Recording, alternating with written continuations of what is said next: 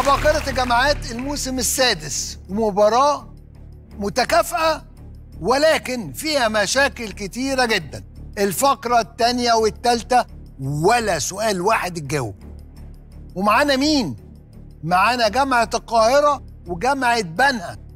والنتيجة جامعة بنها 50 جامعة القاهرة 40 جامعة القاهرة عندنا تغيير. هبة أحمد رجعت مكان مارينا مدحت.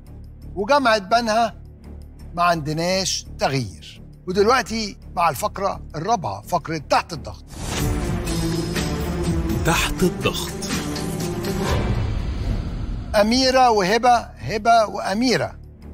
هبة هتسمعي أغنية وترجعي لنا تاني. اتفضلي. أميرة تعالي مكاني مين اللي دربك على تحت الضغط؟ ال team. كنت بتجاوبي على كام سؤال؟ يعني على حسب. طيب اتفقنا. نطمن على هبة؟ تمام. تحت الضغط counter كم عدد ألوان علم دولة بلغاريا؟ ثلاثة صح. من هو الكاتب المصري مؤلف رواية أمريكانلي؟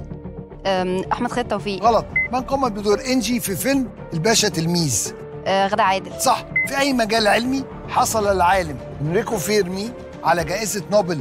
فيزياء. صح. في أي محيط تقع جزر هاواي؟ أه، الهندي. غلط. قامت ثورة الملك والشعب عام 1953 بإحدى دول شمال إفريقيا. فما؟ المغرب. صح. بيت كبير هي أغنية لمطرب مصري معاصر. فمن هو؟ محمد منير. غلط. ما هو ثلث العدد؟ 960 أم، أه، 320 صح. ما هي الدولة الإفريقية التي كان يطلق عليها قديما ساحل الذهب؟ أه، جنوب أفريقيا. غلط. كويس. مش وحش. كويس. مش وحش. خمسة من تسعة. لا خمسة من تسعة كويس. عايزين هبة تنضم لينا يا سليم. طبعا كان في سؤال ممكن يتجاوب. يعني آه يعني هي بتبقى كده. هبة عايزة تعرفي إيه اللي حصل ولا لأ؟ ماشي. عايز تعرفي؟ ماشي. هقولك خمس إجابات صح عايش. من تسعة. شطورة تحت الضغط كاونتر. كم عدد ألوان علم دولة بلغاريا؟ ثلاثة صح. من هو الكاتب المصري مؤلف رواية أمريكان لي؟ آه تحفة غلط. من قامت بدور إنجي في فيلم الباشا تلميذ؟ غدا عادل. صح. في أي مجال علمي حصل العالم إنريكو فيرمي على جائزة نوبل؟ طب. غلط. في أي محيط تقع جزر هاواي؟ الهادي صح. قامت ثورة الملك والشعب عام 1953 بإحدى دول شمال إفريقيا. فما هي؟ آه ليبيا. غلط. بيت كبير هي أغنية المطرب آه، تامر مصر عاشور. صح. ما هو ثلث العدد؟ 960 330 غلط. ما هي الدولة الإفريقية التي كان يطلق عليها قديما ساحل الذهب؟ آه كوت ديفوار. غلط.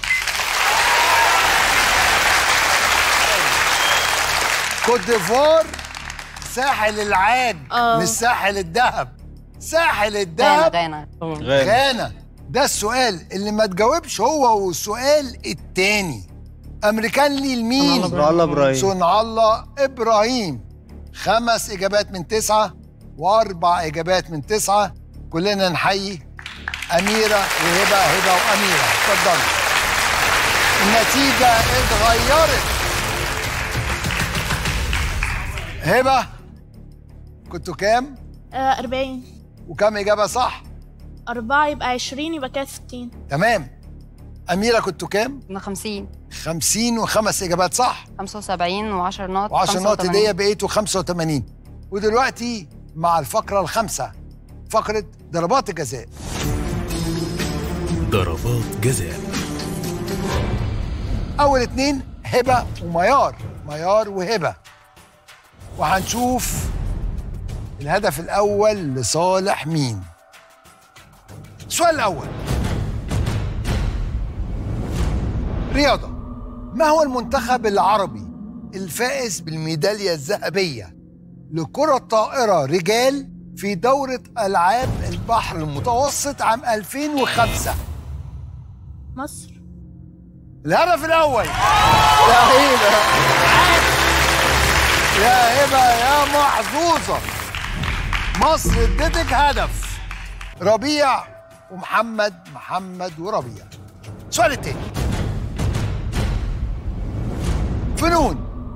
من هو الفنان الذي قام بدور يوسف في فيلم هروب اضطراري؟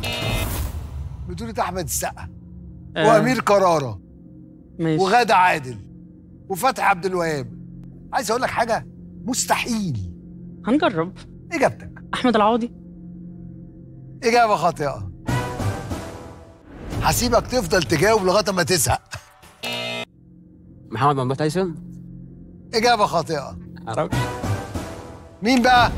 مصطفى خاطر مصطفى خاطر هدف بلا مقابل لجامعة القاهرة. لو فاطمة الزهراء جاوبت صح اتعادلتوا. السؤال اللي جاي قدرات ذهنية. السؤال الثالث حل المسألة الآتية 250 على 10 زائد 9 في 5 يساوي كام؟ 70 أوه.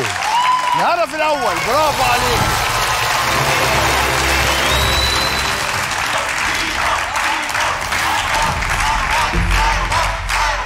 ما انت طلعت شاطر أهو في قدرات الذهنية. مش ممكن. السؤال اللي جاي سؤال جغرافيا. يا إما جامعة القاهرة هتتعادل يا إما جامعة بنها هتتقدم 25 نقطة كمان. إن شاء الله. السؤال الرابع. جغرافيا. في أي من دول جنوب شرق أوروبا يقع كهف؟ لدينيكا. يونان اليونان؟ إجابة خاطئة. تم افتتاحه 1961 على ارتفاع 830 متر. بلغاريا؟ عمر الكهف 68 مليون سنة. الهدف الثاني. مش ممكن يا ميدو برافو عليك. مش ممكن يا ميدو برافو عليك. 25 نقطة لجامعة القاهرة النتيجة تعادل 85 85 آخر فقرة ب 80 نقطة 90 نقطة 100 نقطة. هتحسم لقاء النهاردة. المباراة لسه في الملعب وصعبة جدا. المباراة ابتدت قوية جدا من الجامعتين. الفقرة التانية ما تجاوبتش الفقرة التالتة ما تجاوبتش. حاجة ما تحصلش. جامعة القاهرة نجحت في الحصول على 25 نقطة والتعادل. الهدف الثاني الحمد لله إن أنا قدرت أحسن من ضربات الجزاء وقدرت أجاوب السؤال وأرجع فريقي للماتش ونبدأ من نقطة الصفر في عجله الحظ. جامعة بنها لو كانوا كسبوا ال 25 نقطة دول أنا في رأيي كانوا هربوا بالمباراة. الحمد لله قدرت أجاوب على خمس أسئلة في تحت الضغط لكن للأسف ما قدرناش نحافظ على التقدم. وإن شاء الله نعوض النقط اللي خسرناها في عجله الحظ. أدانا النهارده ما هواش اللي إحنا متعودين عليه ضيعنا نقط كتير ولكن ده كان بسبب إن الأسئلة النهارده مش سهلة. وإن شاء الله نحسم الماتش لصالحنا في عجله الفوز إجابة صحيحة. اللي هيكسب النهاردة هيعقد المجموعة هنخرج فاصل وهنرجع مرة تانية مع آخر فقرة فقرة عجلة الحظ. والعباقرة. وبكده طلاب مصر جمعوا 80 نقطة في فقرة تحت الضغط وضربات الجزاء وكل نقطة ب 2000 جنيه بما يساوي 160 ألف جنيه ويبقى الرصيد لحد دلوقتي 340 ألف جنيه في خزنة البنك الأهلي لتطوير القرى المصرية.